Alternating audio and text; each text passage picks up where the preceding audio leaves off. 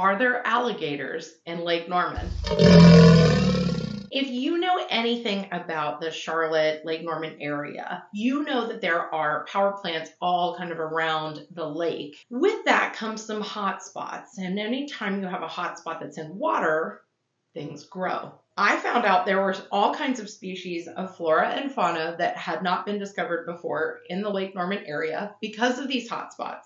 And scientists even found a baffling brand new species of freshwater jellyfish. You thought I was going to say alligator. Mm-mm.